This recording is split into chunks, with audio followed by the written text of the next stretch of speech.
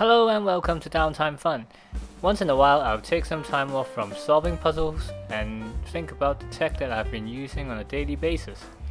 Around 8 months ago I reviewed the M1 MacBook Air and in this video I want to discuss my long-term experience with this laptop. If you have missed my previous video on the MacBook Air, you can click the link up here to see what I thought when I first got this computer. Anyway, many people were waiting for a new MacBook Pro in WWDC last month, but instead Apple only announced a new M1 iPad Pro and some software updates, leaving many of us slightly disappointed. With this in mind, many went back to consider the M1 MacBooks again. So is it still a good purchase today, 8 months after its initial release? Let me share my thoughts with you in this video. Okay, so I won't say I'm the most demanding type of computer user, but I do use this computer exclusively for editing my 4K videos. My configuration for this laptop is the higher end 16GB RAM model with 8 GPU cores. The editing and exporting experience remains super smooth. I use Final Cut Pro exclusively, which is fully optimized for the M1 chips. There are many benchmark videos out there, so if you are interested, you can just go and check them out. In short, it is plenty fast and surely not the bottleneck for my creative process. I have upgraded mine to 1TB of storage it is quite expensive, but was it worth it? I'd say yes. The reason is that for my video projects they usually take up around 100 gig each and I tend to have around 2 to 3 projects worth of footage stored on my computer. So the basic 256 gigs of storage is not sufficient for me. I also do not need to attach an external SSD every time I work on my projects, which is just great. Just now we were talking about external SSDs and I feel I should address the logical follow-up question. The answer is yes, you will need a dongle. There are only two USB-C Thunderbolt ports on the left, which is unlikely to be enough especially one of them will be used for power. The hub I'm using is the simple Anker 7-in-1 which includes the card readers, USB-A ports, HDMI out and power through for charging which should serve 95% of the needs if not more. The only port missing here is the Ethernet port, which is optional really. At launch the M1 chip did not play well with Bluetooth connections.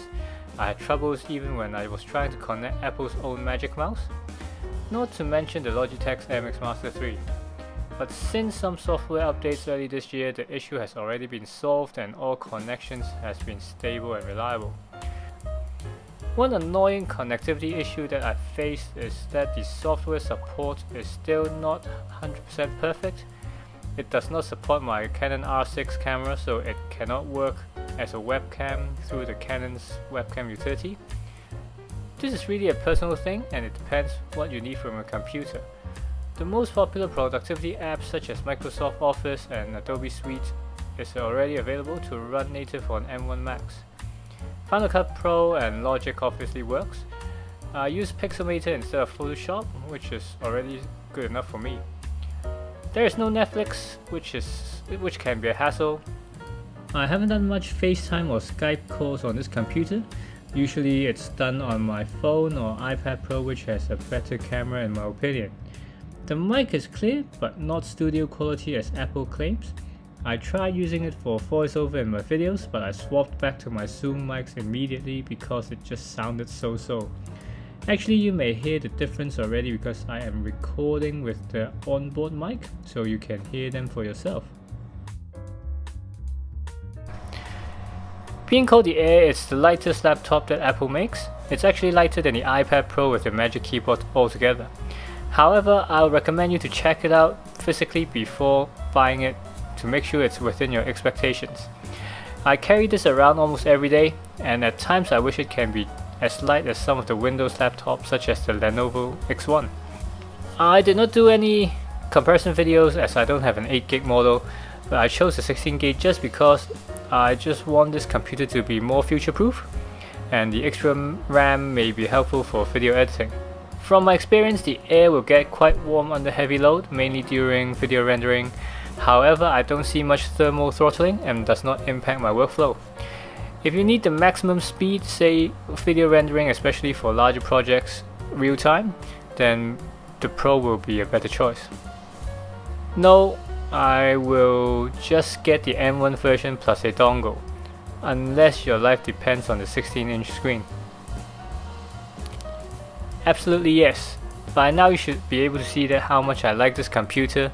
The performance is great and I think I can say it's a bargain. I will answer this question with a question back to yourself. If you need a computer now, you should not wait and just buy this. I don't think a huge performance bump will happen for a casual user or an enthusiast like me down the road. But if you can wait, meaning that you have no imminent need, I'd say you just you should just wait for the next Air, which will have a form factor upgrade with smaller bezels and maybe a colored shell.